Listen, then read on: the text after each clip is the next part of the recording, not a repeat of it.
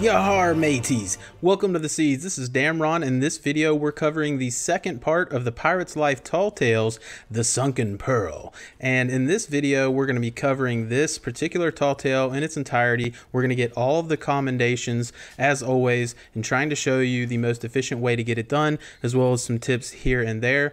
As the second and all of these tall tales go, you can find these at any outpost at our new castaway who is on the beach, again, at any outpost and now you're going to want to select the second book, The Sunken Pearl. And she's going to tell you a little bit, but nonetheless, you're eventually going to get the Tall Tale book, which as you can see is going to lead you to the southwest portion of the Sea of Thieves, west of Discovery Ridge and Old Salts Atoll. And if you look at your map, you can see that's all the way in the southwest portion of the Sea of Thieves.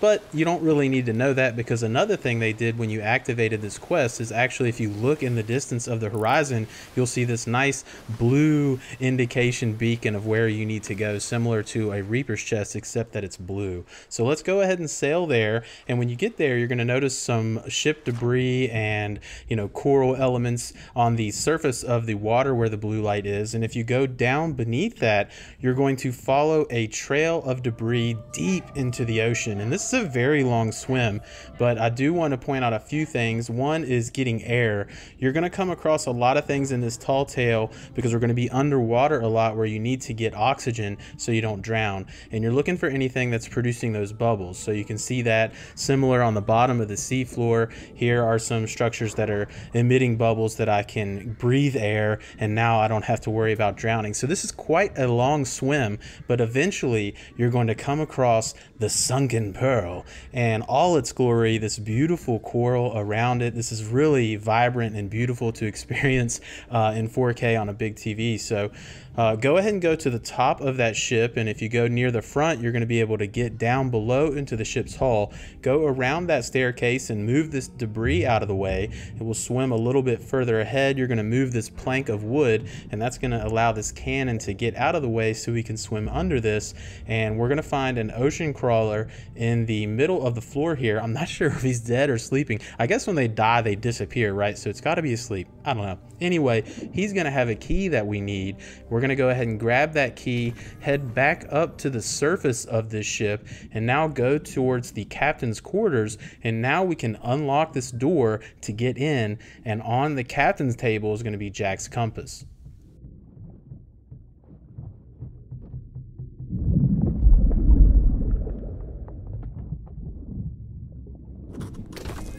So now that we've obtained Jack's compass, just like the movie, it's always going to point where you want to go. And we're going to have this in a couple of the tall tales, but essentially that black arrow is going to indicate where you need to go next.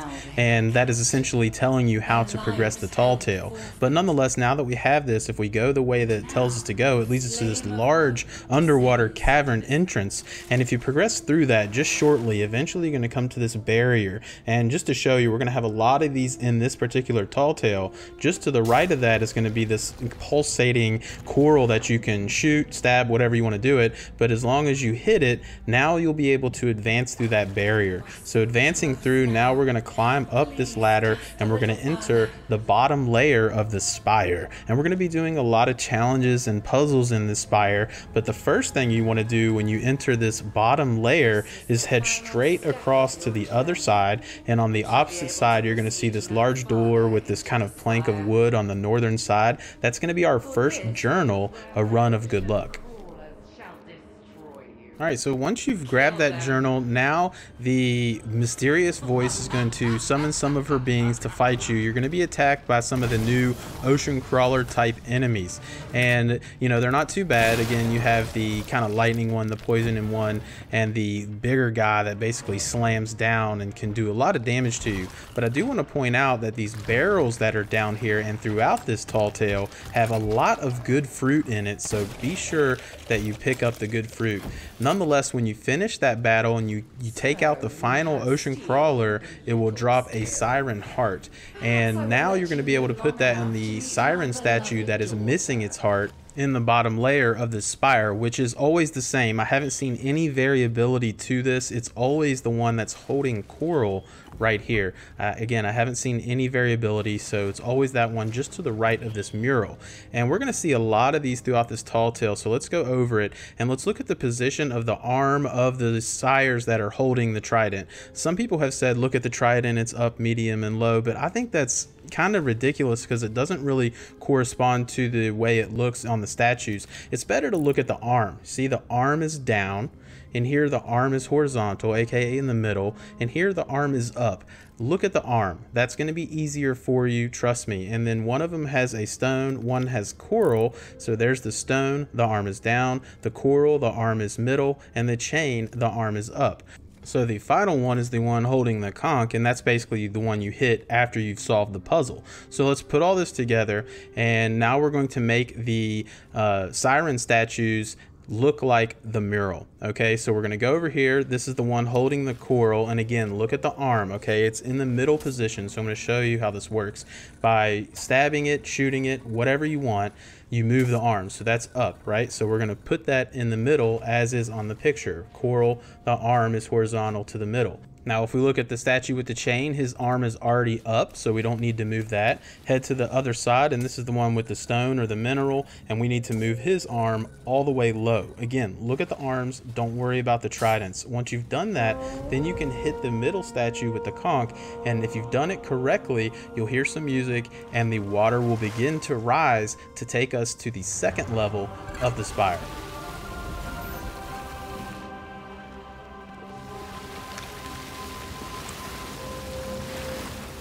So once you finally get risen all the way to the second level of the spire, you're going to see another set of the you know mural up there. And this one, all of the sirens have their arms in the up position. So you basically just need to swim down. Again, our chain was already up. We're going to change our coral to the up position now. So we'll hit that twice, and then we'll go over to our stone or our mineral, and we'll put that into the up position as well. And once we've done that, we'll hit the center siren that has the conch again and it's now going to activate a geyser that's actually in front of the mural. So if we swim back up and look where those, you know, the picture of all those sirens are, you're going to see this pile of rubble right in front of them. And now you can actually stand on that and it's a geyser that's going to shoot us up to the third floor and we're going to see another set of images. However, we're not going to be able to deal with that yet because we are going to be attacked by a few waves of ocean crawlers.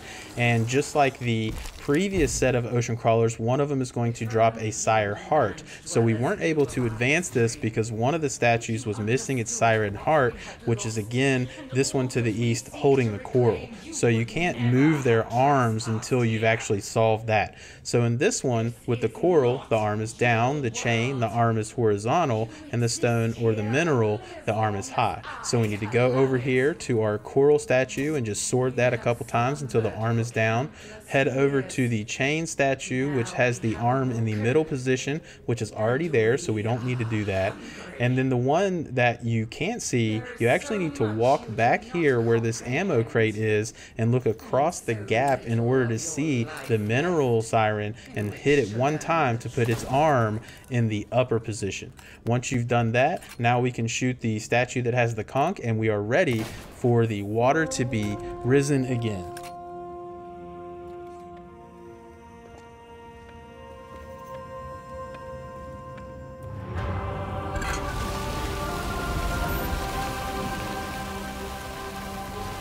All right, so once the water has risen to the top floor now, you're gonna see this kraken spine that you're supposed to take to progress onto the tall tale. But before we do that, turn around while the water is at the highest level and head to the eastern side of this. And right next to this red coral on this rock, you're gonna find our next journal.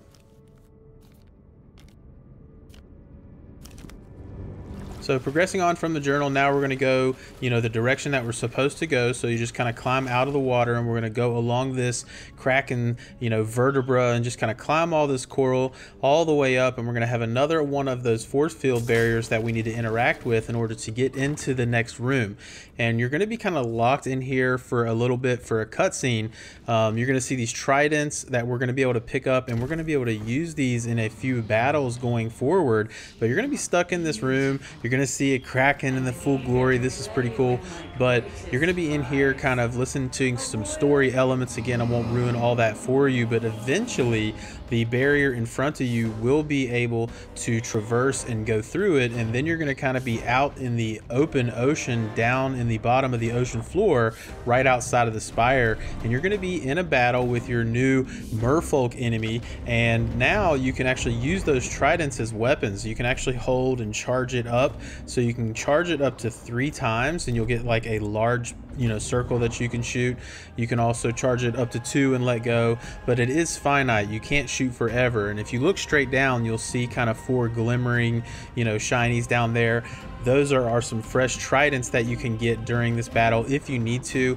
Also down at the bottom is where you're going to find some oxygen from the coral that's releasing those bubbles. So you may need to swim down there and grab that. So once you kind of get to the end of that battle and you take out the last of the merfolk, he's going to drop a siren heart as similar to prior parts of this tale. So we're going to go ahead and grab that. And for reference, let's head back down to where um, those four tridents were at the bottom of the ocean that I just showed you kind of during the fight. Uh, you can drop the siren heart similar to the tridents. It'll just stay floating exactly where you dropped it. So you can kind of loot these barrels if you need a little bit more fruit or anything else that you need.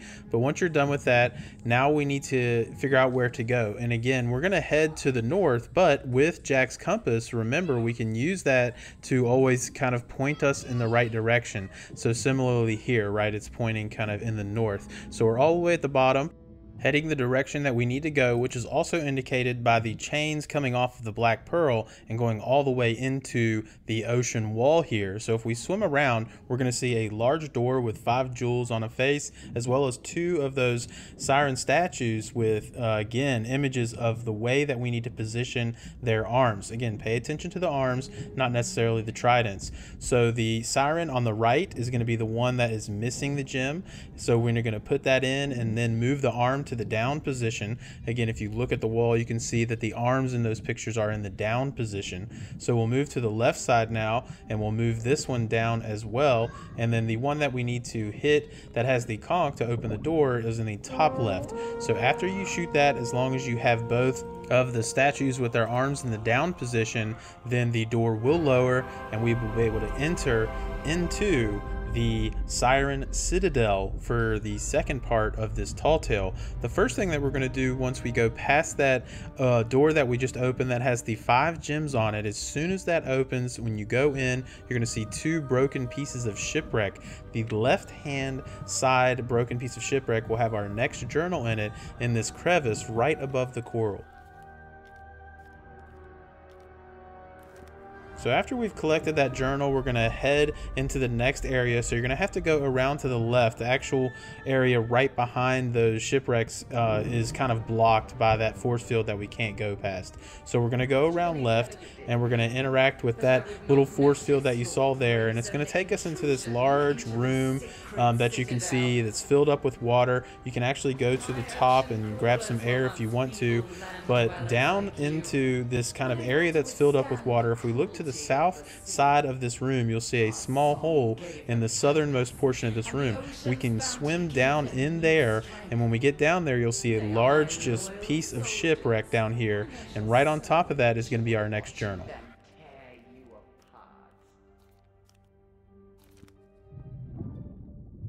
So from the journal, we'll head back up through the hole. And now what we need to do is again, position these statues in the right direction. So you can see the chain on the left with the arm up, the stone in the middle with the arm in the middle and the flora with the arm down. So again, just pay attention to those arms. That's how I think the best way to look at it. So we'll move the flora to the arm down, the chain, we're going to move all the way to the up position, and then our mineral, which we need to find to the left here, we're going to put in the middle position. And once you've hit all of those, then what you have to do is find the one that has the conch, and you'll realize that it's not down below where you are. In fact, you need to go up to the surface and look up and out to the southwest in order to see and shoot this particular statue. I like having the sniper rifle in this tall tale for this reason. Um, actually, a little bit later is even going to be one that's further away. So it's really helpful to, one, when you're shooting the statues that have the arms that are at a distance, you can see where they are. And obviously just hitting those things from a distance. You can use a pistol if you want to, but nonetheless, once you hit that, the water will lower and you're going to be attacked by a few waves of ocean crawlers. There are some tridents in here that you should use. Um, they're very you know, efficient at taking out the ocean crawlers. So once you finish that, you will see a pulley kind of right in the middle of the room. Uh, so go ahead and grab that and push up until this door in front of you lowers. And that will lead us into the next room in this tall tale, which is a very beautiful room. It's very open, very vibrant, and colors are very dynamic. But just to the left, right when you enter this room, is going to be another pulley that you can interact with. Interact with that, and you're going to pull the, this uh, shipwreck all the way down. And if you pull it all the way down, and it is timed, so you, once you pull it down, it's going to start going back up. So you need to run over there and hop on this piece of shipwreck, and that's going to allow us to hop over to the other ledge of this room. And if we take this all the way up, we're going to come to this, you know, back end of a wrecked ship here, and inside of that is going to be our next book, our next journal. So if you jump up and actually fall into the hole here, you're going to find your next journal right on this broken crate. With whom you associate so freely. So from the crate, now we're going to progress on the tall tale. So now we're going to go back on top of the ship. So again, you have to come here, uh, but we're going to head all the way across the other side, and then we can jump on that ledge. And if you go back to the end of this hallway, we're going to see another mural with a chain in the down position, the stone in the middle, and the flora in the up position. So if we look to our left, now we can actually see those same statues that we were using earlier through this kind of hole in the wall. So look at those and then just use your sniper to get everything in the right position. So the mineral is already in the middle, so that's good. We need to move the chain, so we're going to shoot that twice to get it into the low position. And then the flora, which we can see right here, or the coral, we need to get that to the up position. So we'll just shoot that once. And now we're gonna have to go back to the ship. So now we're going all the way back to the ship that we were just at so that we can see the statue we need to shoot with the conch. And if we're on top of the ship and you look out to the west, you can see it through that little hole. So this is the one, again, I, I, like to have the sniper, just makes everything a little bit easier on this level. But once you, uh, you know, get those statues in the correct order and shoot that, then the water will rise and this room will be filled up and you'll be able to actually get to that ladder that's in the middle of the room that you couldn't reach previously. So once we go ahead and let the water fill up and climb up this ladder, you're going to see a pulley right in front of you. Interact with that pulley, and what we're going to do before we progress to the right, which is the tall tale, we're going to get the, the key that we need in order to get the chest of everlasting sorrow.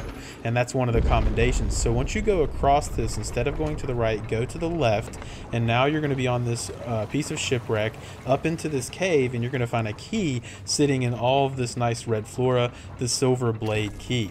So with that key, we're going to go back now. We're just going to go back to the ladder that we were just on. Now we're going to be taking the same path, but then this time we're going to go right to progress the tall tale. And we're going to keep this key with us so that we can unlock the door for the chest of everlasting sorrow. So once we've gone to the right, we're going to head around and we're going to come to another barrier. The thing is up, so you're going to have to shoot it. So be sure you shoot it, but don't forget the key. Okay, do not forget the key. You don't want to walk through here and be in here for a while and it accidentally close and you've left the key behind and you can't get anymore. So be sure you grab the key because once you have the key and you head up to the flora on the left hand side to get to the top of this ship, now we're going to be able to enter the captain's quarters with this key to get the chest of everlasting sorrow and you'll go ahead and grab that commendation as well. Now we're still going to need this chest for a little bit later, um, so we're going to hold on to it, but we have quite a large battle that's going to take place first on this ship.